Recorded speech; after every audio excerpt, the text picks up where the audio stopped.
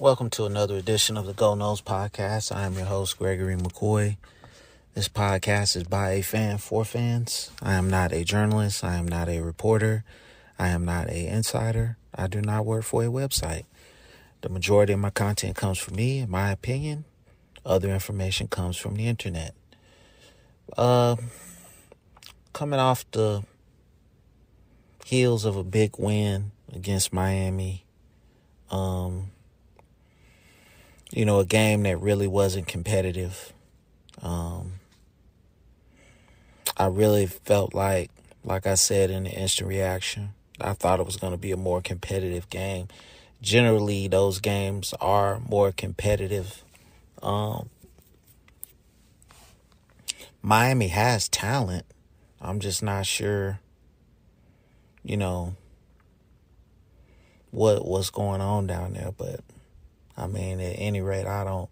Like I said before, I think if you have a, at least a halfway decent Miami team, they're able to corral some of the talent that comes out of there. And, you know, I would rather that talent go to Miami than Georgia or Alabama or Clemson or Ohio State. I would rather that talent stay in Miami. You know, just because I don't want to see those other programs have pipelines to, you know, I think if we're competing with Miami for talent, we got a better chance of getting those players versus um, going against, you know, those other top schools. But I mean, at any rate, you know, we throttled them. I'm happy. I'm ecstatic, and um, it's on to Syracuse. Um, but I mean, we're bowl eligible for the first time since uh, what 20, 2020, January 2020. We played in the Sun Bowl, is what I want to say. And, uh, you know, we're, it's not a lot of players remaining from that team. Not a lot. I mean, um, I, I'm, you know, I'm starting to think that maybe we can finish five and 0, 4 and one. I think, you know, Syracuse is on the three game skid, and you just you got Louisiana and you got Florida. Florida is no slouch. You know, I know they're down in terms of their record, but you know, they've got talent on that team and they beat us last year. So, um, you know, that's not going to be a walk in the park. Um, that's going to be a big game. Um, so I would, uh, I'm really anxious to see how Florida State is going to play over these last three games. I think, you know, if you can finish the season nine and three, I mean, open up the floodgates. The talent is coming. Um, I think a lot of the talent in the state of Florida, you know, is reluctant to come to Florida State because they, you know, they didn't feel like Norvell knew what he was doing. But I think, you know, as he's gotten talent, offensively and defensively, has come together. So if they can, you know, finish out this season and, you know, win nine, ten games, I mean, it would be tremendous. It would be a tremendous lift for the team, the fan base, everything, the boosters, the school, everything. And um, you know, I would love to see it. I would love to see it. I, you know, thank God for Trey Benson. I mean, just a one man battering ram. I, for my money, he's the starting running back. I don't. I whenever Treshaun Ward is healthy, I don't think you give it back to him. I think, you know, and, you know, Miami has a good front seven, so we're not going to sit here and say that they're lacking talent on defense. They've got a really good front seven. And, you know, the offensive line played a heck of a game. They had Darius Washington at left tackle, and he actually played pretty decent. Um, if I I want to say I saw Darius Washington out there, number seventy six at right tackle. I could be wrong. I mean, but I, I think I saw him out there. Um, or maybe that was Turnetine. I have to go back and look at the tape, but I could have swore they had Darius Washington out there right tackle. But I mean, I could be, you know, sometimes when I'm watching a game, I see stuff that's not really there, so I could be completely off base with that. But I could have swore I seen him out there right tackle. But whoever was playing right tackle had a good game. Um, the whole offensive line had a good game. Um, so I, you know, Syracuse out of these last five games, Syracuse and Florida scared scared me. But with Syracuse, um, you know, basically coming back to earth after their six and zero oh start. I mean, I think I think beating them is very doable. Um, eight o'clock kick. Um, number 34 for Syracuse is a tremendous running back. Their quarterback is dual threat. Um, their defense is very confusing with the 335. Um, so, I mean, you're just going to have to come out and run the football. Is pretty much what you're going to have to do, you know. And I like the fact that Mike Norvell comes out and tries to establish the run early in these games. And if you're running the ball effectively, I think you can get them out of that that three three five and, and have them put more people in the box. Then you're able to do your play action and all that stuff. I mean, the play calling has the offensive play calling has improved tremendously over the last two games. Um, I, I don't know if that's because you're playing playing inferior opponents. I think that might be the case. Um, but at any rate, you know, I'm just happy that hey, man, at least we at the end of the season we get to play one more game. I hope, I'm hoping it's the uh, the mayonnaise bowl in Charlotte you know, my hometown so I can actually go see them. So, um, you know, this podcast, I really don't focus on recruiting a lot. Um, cause you just never know what a player's gonna be. Like, you know, they'll hype up this the cornerback from Lakeland, Florida, uh, Cormani McClain or whatever his name. He's the number one corner. He might not. He might go to Miami and he might not do nothing. The same thing with uh the receiver we got, Hykeem Williams, whatever his name is. He might come to Florida State. He might not be nothing special. You know, you just got to get him on campus, coach him up, train him up, and see what happens. Cause I mean, it's it's so many players that have come through this university, this football team that were just, man. I mean, Lorenzo Booker, Fred Rouse, um, uh, Nick Maddox. I mean, just all world high school players. Um, that just didn't do anything. Um, I'm trying to think of the, the linebacker from Miami that was like five star all world that we had got and he didn't do nothing when he got I mean, so you just never know how a player is going to acclimate when they come to to play college football. So, you know, and I, I'm saying this because I'm getting, you know, people emailing me saying, you need, you know, you need to talk about more about recruiting and blah blah blah.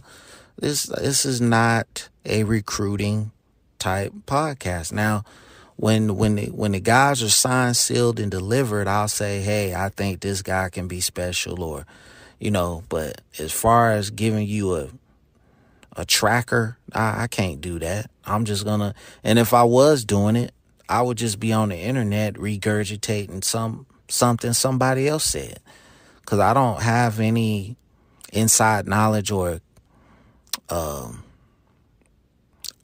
you know, whatever to get that information. Um, you know, last year I was on Julian Armella. I said if we could get him, you know, he's the type of offensive lineman that we need. And we got him. Um,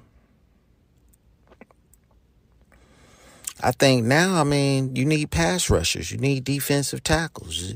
You know, it has to be an emphasis on that. You have to continue the growth on the defensive line and the offensive line if you're going to, you know, be competitive year after year. Um, and um, you know, that's that's the name of the game. You know, you look at the Georgia Bulldogs I mean, their offensive line is crazy.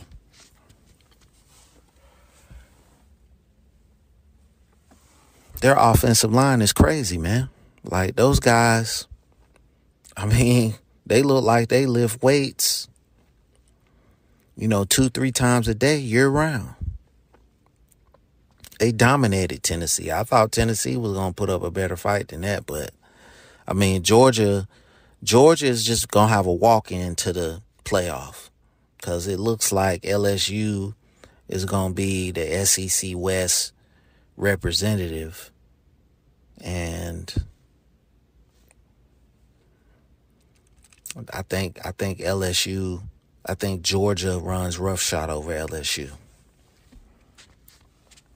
And you know, and I say all of that to say that Georgia, right now, in terms of offensive line, if you're Florida State, that's who you want to try to emulate. That's where we want to be. You know, they don't have the greatest defense in the world, but they still get talent. Um, you know, I would just, like I said, if we can win out, I think I think next season is going to be very special if you can bring this group back. I know you got some five and six year seniors on this team, but I think if you can bring most of this team back, we, we could be special next season. I'm talking maybe ACC championship special. Um, but you just you just you know you just don't know guys' situations in terms of money. So mm, i think one more year would help jordan travis for sure. Um, i think he's improved tremendously. I think he's made that leap. But i think one more year he could potentially be you know a top 10 pick if he can get one more year to master that offense and put his skills on display, I think the sky's the limit. Um, to to beat Syracuse, apparently all you got to do is run the football, and that's that plays right into our wheel, wheelhouse. Admittedly, I was one of those fans that was skeptical about the. Uh, Mike Norvell hiring. And, uh, you know, I'm not ashamed to admit that. I'm not going to try to, uh, you know, switch it up because he's had some success this season. Um, I think he has uh, done a tremendous job with the roster. I've said that many times. Um, think uh, the future is bright. I think that um, you can't rest on, you know, what you've accomplished so far and what you could potentially accomplish over the last three games. I think that as aggressive as you were the last two years, you know, you need to go times 10 in this next off season to try to, you know, I think that the first step was to get bowl eligible The second step to me is win an ACC championship. I think that has to be the next step. And then after that, you know, it's top five competing for national championships. Um, of course, you have to acquire the talent, um, offensive and defensive line, especially. Uh, I think we can do that. I think you got a tremendous um, offensive line coach and recruiter in Alex Atkins. Um, you got a tremendous DB coach uh, that can recruit. Um, we all know that Odell Haggins can recruit. Um, so for me, you know, it's just you got to go after these guys. Um, you know, I, I just think that, you know, with Alabama coming back to earth this season, I think it's there for the taking. Um, of course, you know, you say that and they'll probably end up with the number one recruiting class. Uh, we've seen this movie before where they've had a down year, quote unquote, and then they just, next year is just, you know, uh, jailbreak, you know, and um, typical, you know, undefeated national championship Alabama team. But, you know, I think we can get back in the national championship conversation if we can acquire, you know, elite talent on the offensive and defensive lines. I think uh, it would behoove Jordan Travis to stay for his final season. I think that if he goes this year, he might be a fourth or fifth round pick. If he comes back and he has a better year, you could say a potential first round pick. Um, I mean, if you can get another year to hone your craft and improve your draft stock, why not do it? Um, you got a lot of seniors on that offensive line, so you know, I don't know if you go out and hit the portal. I think you've acquired enough offensive line talent to not have to hit the portal as hard. I don't think next season that you have to go out and get a whole offensive line from the portal. I think you've acquired enough talent, but you know, one or two guys wouldn't hurt. Um, you you definitely need some some cover corners and a playmaking safety wouldn't hurt. You know, I thought that uh, uh, Robinson was going to take the next step, but you know he he's leveled off a little bit. Um, he had a tremendous tackle on the quarterback in the Miami game. Um, but I, I think you know, I think we can beat Syracuse. I think we can beat Louisiana. I think Florida is going to be a very tough game. Again, you can't judge a team by their record. You you know they've got talent. Um, you know, and you know it's going to be a, a, a well fought game. So if if if Florida State's gonna win that game, they're gonna have to win it. Florida's not gonna give it to you. So, um, I think the future is bright. I'm not going to sit here and say give Mike Norvell a contract extension because he might finish. It's a chance he might finish 6 and 6. But I mean, certainly if he finishes 9 and 3, you know, I think you can re-sign him on the cheap. You know, I don't think you wait until he has a, a real, real breakout year and try to re-sign him then. I think you try to get him on the cheap. Um, but the like I said in the instant reaction, I think the play calling has been a a little bit more imaginative and a lot more creative over these last couple games. Now, I don't know if that's a byproduct of the competition and maybe plays are just working, but um, I feel like we're a better team than Notre Dame. And um, you know, Notre Dame just ran them out of the out of uh, uh, out of the stadium. I mean, but we all kind of felt like, okay, it's just a matter of time before Clemson got exposed, and they did. I felt like we could have been that team.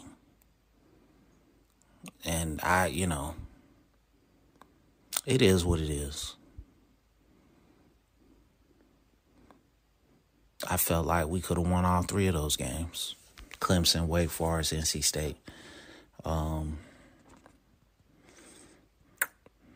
nine and three is doable. I think I, you know, I said way back in August, nine and three after the, uh, you know, Duquesne game. I said that would be a dream year, and that is possible. Um, you know, you just don't know what Syracuse team is going to show up this Saturday, and uh, it, it just watching their last couple of games. If you just if you just run the football on them and be physical, that you know, you'll you'll beat them. And you know they their weakness plays right into our strength. Notre Dame, Clemson, uh, Pitt, they all ran the football and got physical with those guys, and and that plays right into our wheelhouse. Now, as far as the Trey Ben, I think Trey Benson is a starting running back now. I think we can we can honestly say that he's the workhorse that we've been needing for several years now. I don't think you give it back to Treshaun Ward. I, I mean, I feel like you just give him more time to rest up. There's no need to rush him back. And when you got Trey Benson playing the way that he's playing, um, you know, if he chooses to go pro, I mean, he's made himself a lot of money, man. Um, big guy, physical, I mean, accelerates on contact. I mean, he's got jukes.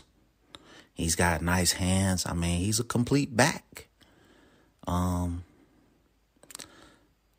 so it's it's again, it's gonna be real interesting to see how um, this thing plays out the uh, the rest of the year. Um, I still think that Cam McDonald is a playmaker. Uh, just waiting to come out of his shell. I just, I feel like when he goes to the pros, man, if he gets with a, a creative offensive guy, I think you're just gonna see the the talent. I would love to see him in like Kansas City or Green Bay, and San Francisco, you already know what Kyle Shanahan can do in San Francisco with guys. I mean, six six four, two fifty, can run, can catch. I mean, come on. You know, I, I that's my prediction for him. I think out of all the guys on this roster, um, I think he has a tremendous NFL upside. I think Amari Gainer has a tremendous upside. They're not using him right. If if Amari Gainer, when Amari Gainer gets to the league, and he will get a chance to play in the league at 6'3", two what two thirty five, he puts on another ten to twenty pounds. He can play outside linebacker in a three four and be very good. His his cover skills are just good enough to play a three four linebacker. He can't play a 4 3 linebacker, but 3 4 rushing the edge, he's going to be a tremendous asset. And they just not using him right. Cause you you seen Amari Gainer come off the edge before, and he's like he's an excellent blitzer, and they just not using him right. So, like I said many times before, a famous man once said, "A lot of the answers to your problems is right on your roster." and uh, they just not using them right. So, um, and you know, I, I think even in success, even in success, you can criticize. And you know, if you've got playmakers on your roster, why not use them? So, um, I just I just hope that uh over the last three games we can do what needs to be done and we can get back on top. You know, after the Miami game and the uh in the post game press conference, a reporter asked Mike Norvell, you know, about being bowl eligible and and I like what he said. He said, you know, that's a it's nice to be bowl eligible and he get to coach, you know, this group one more for one more game, but that's not the standard is being bowl eligible. I like that. I, I like that he is not getting um, you know satisfied with just six wins.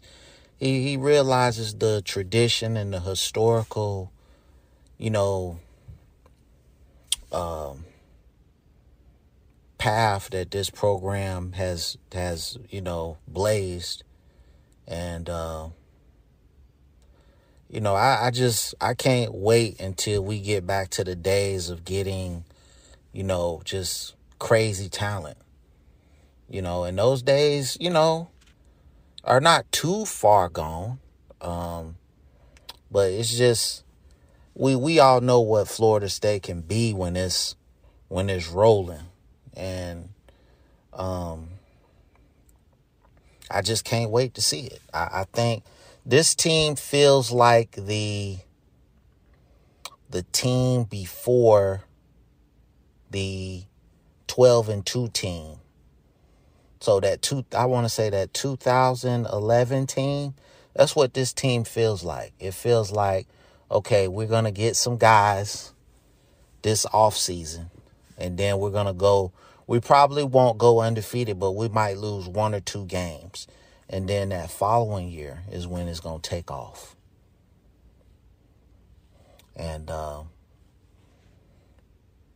like like 2012 and two, 2012 we went 12 and 2 and then you know 2013 we went undefeated won the national championship. That's what it feels like. And uh you know we we've got to get back to dominating the A, to uh, ACC.